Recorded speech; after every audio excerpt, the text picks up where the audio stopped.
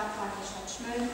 Auch an der Stelle ein ganz herzliches Dankeschön, denn ich denke immer, wenn wir mit unserer Feuerwehr ausgestattet sind, in so einem hohen Niveau und auch mit so, einer, mit so einem hohen Engagement unserer Kameradinnen und Kameraden in der Ausbildung, ist es gerechtfertigt, auch Investitionen in diese Größenordnung zu tätigen und dann natürlich auch für Feuerwehr Priorität zu setzen. Ja, ich denke, von meiner Seite her habe ich jetzt ein bisschen das angerissen, was das Fahrzeug angeht.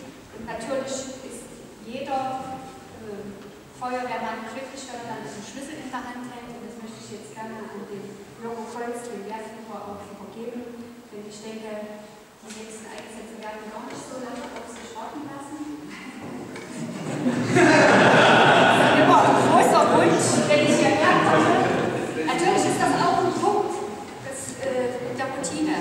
Das ist natürlich ganz wichtig und darauf verlassen sich nicht nur die Bürgerinnen und Bürger, sondern auch die ganzen Organisationen drumherum, wenn es um Hilfeleistungen geht. Denn gerade auch bei der Johann der Unfallhilfe die Unterstützung der Feuerwehr gern gesehen. Also, Bürger Holz, jetzt gibt es den sogenannten Schlüssel und dann kann es hoffentlich gut losgehen. Ich wünsche gute Einsätze gute Erfolge an der Stelle und natürlich immer Danke.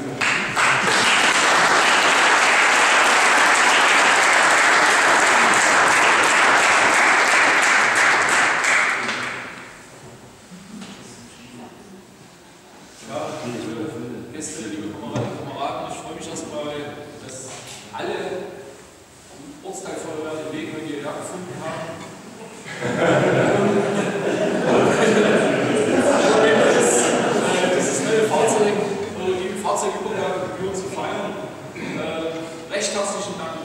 unserer Seite erstmal an die Stadtverwaltung und natürlich an die Stadträte, die das hier zu 100 Prozent unterstützen. Ich wünsche mir, dass es in der nächsten Zeit, es stehen noch einige Neubeschaffungen, Ersatzbeschaffungen immer an, dass es auch weiterhin so gut läuft.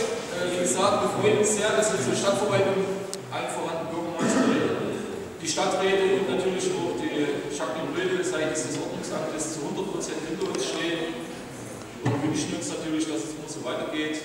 In diesem Sinne nochmal vielen Dank und für uns als Einsatzkräfte natürlich immer gesunden Wunder von den Einsätzen zurück. Ja, ansonsten fehlt mir nichts mehr ein weiter. Wir sitzen heute noch in guter Runde zusammen. Genau. Ich wünsche uns allen noch angenehme Gespräche. Für Fragen zu dem Fahrzeug stehen natürlich alle Kameraden hier bereit. Angucken darf es natürlich auch. Aber mit Handy in der Tasche, ja.